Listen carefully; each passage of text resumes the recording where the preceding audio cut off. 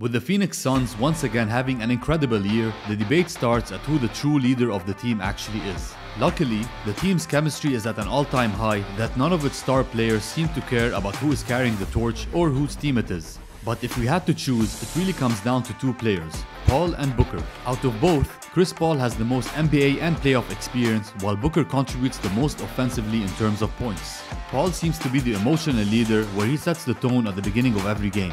Without him on the roster, a lot of Suns players wouldn't be excelling the way they have been the last few years.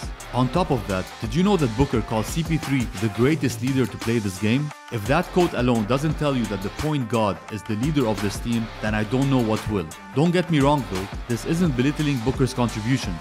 This leader role is unbelievably close between two of these stellar players. Let me know in the comment section below if you had to choose who do you think is the true leader of this Suns team.